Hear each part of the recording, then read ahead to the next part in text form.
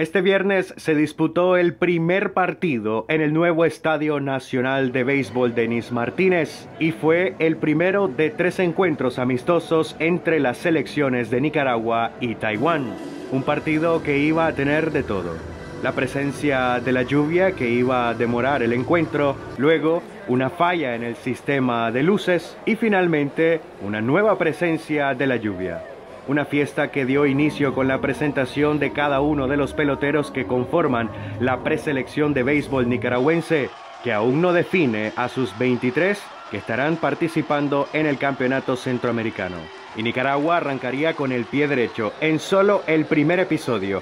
Elmer Reyes al primer lanzamiento mandó la pelota por todo el jardín izquierdo, el primer imparable en el Estadio Nacional y el primer cuadrangular, un hecho que pasará a la historia.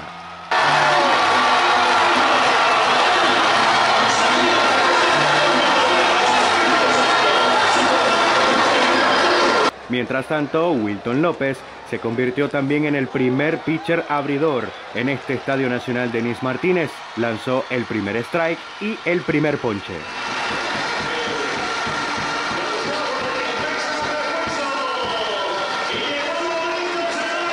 Pero la selección de Taiwán iba a reaccionar en el cuarto episodio con dos anotaciones y fue hasta la octava entrada cuando Nicaragua, por medio de imparable de Ofilio Castro, error del jardinero central, permitiendo que Iván Marín anotara la carrera del empate 2 a 2.